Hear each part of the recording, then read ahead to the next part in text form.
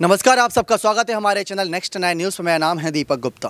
महाराष्ट्र में शिंदे सरकार गिरने को लेकर लगातार विपक्षी खेमा बहुत ज़्यादा आक्रोश दिखाता नज़र आ रहा है। उनका हर एक बयान इसी बात पर शुरू होता है कि शिंदे फडणवीस ने जनता के साथ धोखा किया। इन्होंने विधायकों के समर्थन से सरकार बनाई, लेकिन जनता का जनमत उसमें नहीं था। अभी हाल ही में जो चुनाव होने थे, ऋतुजा लटके को लेकर वो चुनाव भी कहीं ना कहीं उद्धव के पक्ष में ही जाते नज़र आए क्योंकि सभी कैंडिडेट अपना अपना नाम वापस ले लिए। बीजेपी ने भी अंतिम दिन पर अपना कैंडिडेट का नाम वापस लिया। लेकिन शरद पवार ने अब कुछ चौंका देने वाले खुलासे किए हैं। उन्होंने खुलासा किया है किसानों को लेकर। जी हाँ किसानों को लेकर उन्होंने कहा कि जिस तरीके से इस बार बारिश की वजह से जो नुकसान हुआ है किसानों को, उसकी भरपाई, उसका कहीं ना कहीं जो मूल्य है वो नहीं चुका पाए यहाँ पर। शरद पवार का ये बड़ा तंज है। और इसी की वजह से शरद पवार ने जो बातें रखी है, चुपती नज़र आ रही होंगी। यहाँ पर शिंदे सरकार को। उन्होंने कहा कि शिंदे सरकार इसमें नाकाम रही।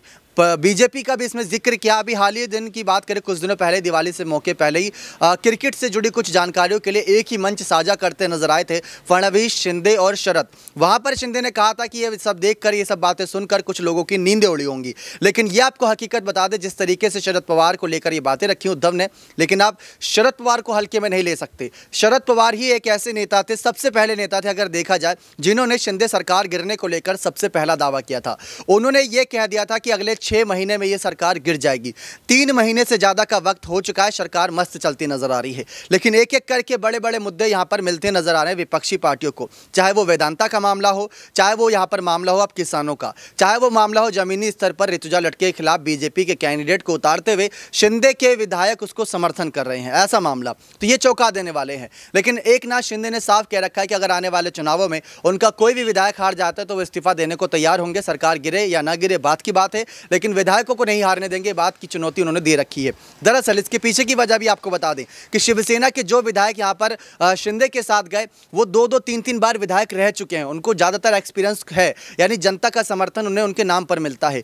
शिवसेना पार्टी के चुनाव चिन्ह पर मिले या नहीं मिले, वो तो बात की बात है, लेकिन जनता उनको बाईफेस जानती है। तो शिंदे इसी वजह से कॉन्फिडेंस नज़र आ रहे हैं। लेकिन शरद पवार भी अडिग हैं महाविकास अघाड़ी सरकार को लाने के लिए। राज ठाकरे, देवेंद्र फडणवीस, शिंदे, हो सकता है ही मंच पर नज़र आए। राज ठाकरे अगर नज़र भी ना आए तो शिंदे और फडणवीस को ही समर्थन दे सकता महाविकास अघाड़ी के खिलाफ। होंगे ही होंगे।